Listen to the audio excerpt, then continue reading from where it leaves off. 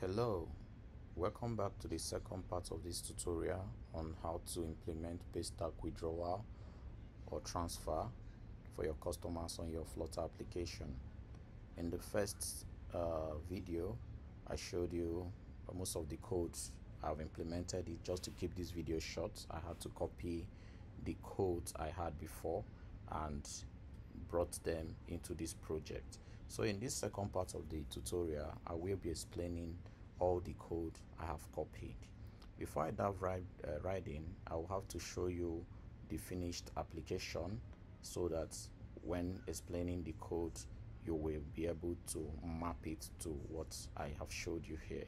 So for the withdrawal, we first need to verify the user's uh, identity. We do this by checking the user's account number.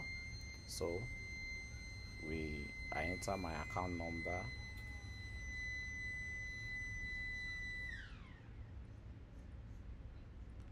so I'm in Nigeria and I'm using Paystack Nigeria for this. So I select.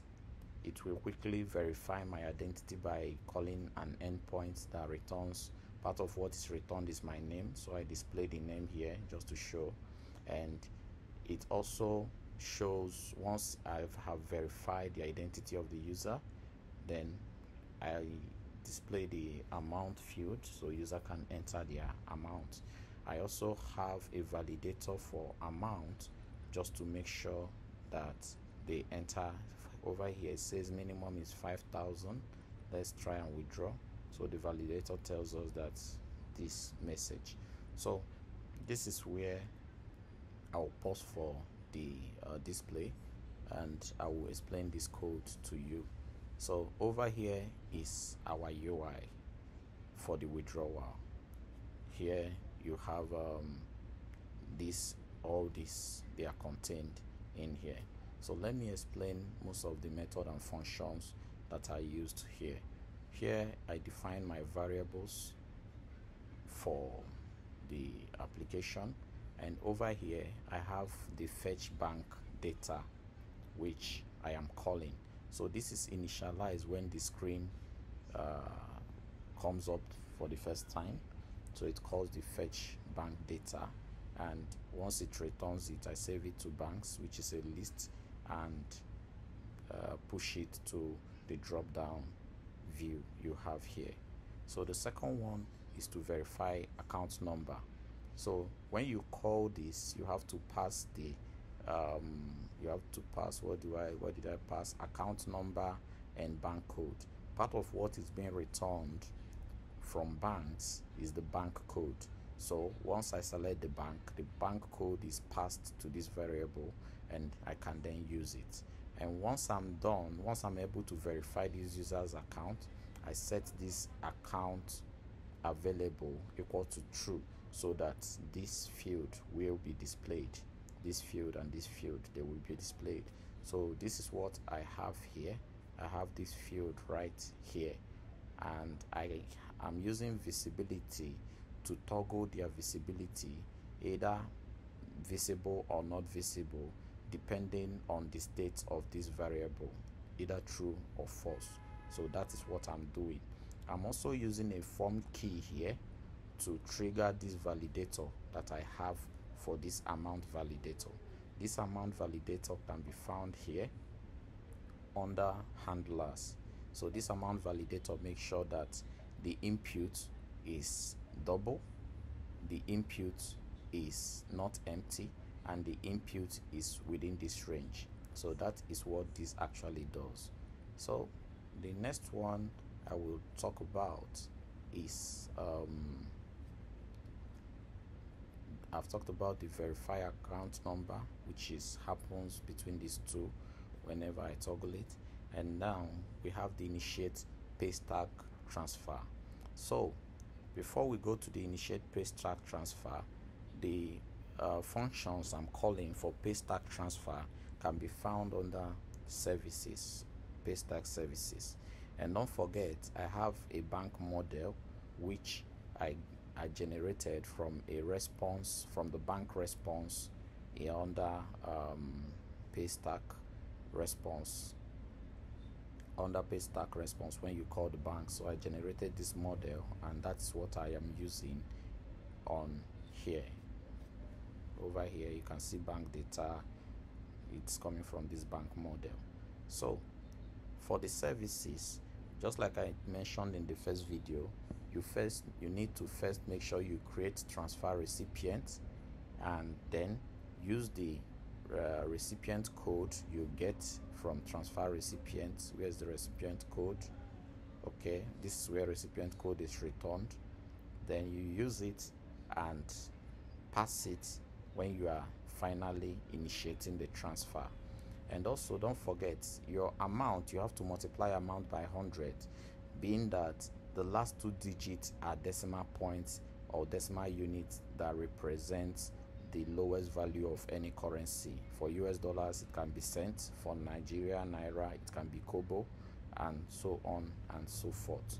So once this is called if this transaction is successful then it will give you this response. It will generate a transfer a transfer code to return the transfer code to you with this transfer code you can decide to save it in your database or any other place uh, withdrawal table and the likes. So let's go back to our withdrawal screen. On our withdrawal screen you can see that under this place i first of all make sure that this account name account number and bank code which is set when these two guys uh, validate account number are not empty. If they are empty you get a message telling you to please select withdrawal bank. So but if they are not empty we go ahead to call this function which in turn returns the recipient code. I am printing the recipient code here just to make sure that the recipient code is not empty.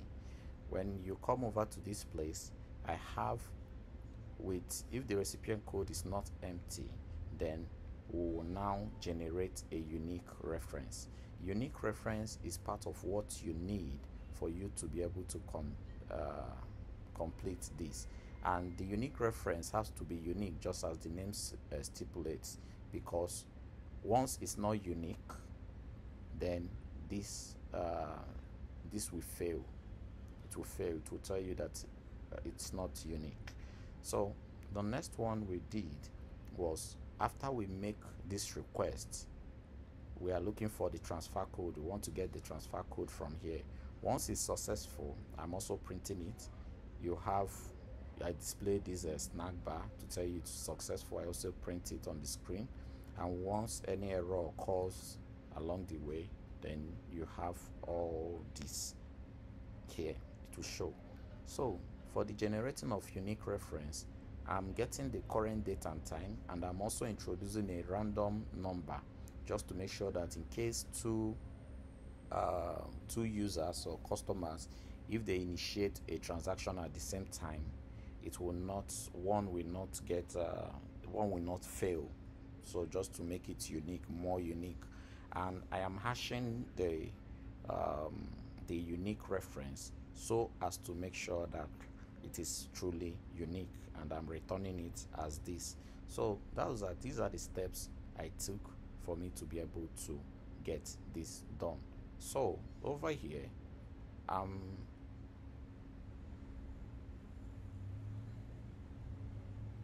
over here I've tested this before and I'm on test right now. I've created this recipient before so I'm going to delete this recipient so we can create it afresh.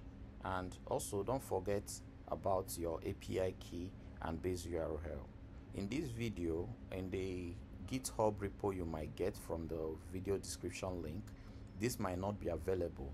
So you need to create this and add your API key. For now I'm using the test API key and I will delete it or regenerate it once I'm done so don't bother using it it won't work.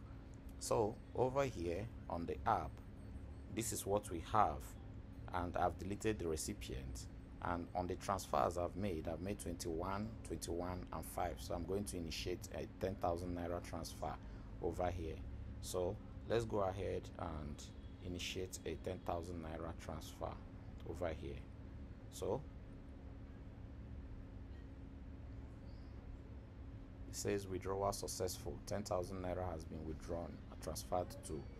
So let's refresh this and see what it gives us.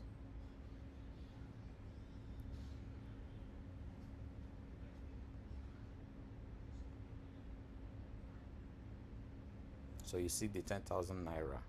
But this transfer is not complete. Reason being that you will need to finalize the transfer by clicking on it entering the OTP that will be sent to your email address and your phone number for you to finalize the transfer. And if you go to transfer recipient you will discover that the recipient has been also added. So these are the uh, flow for this. I will be adding the source code the link to the source code on the video description. You can go ahead go there copy it and use it so you can also add other things like loading showing loading dialog box and the rest. This is all for now. In the next tutorial we will be looking at how to process withdrawal using ussd and other medium provided by paystack. Thanks for now and bye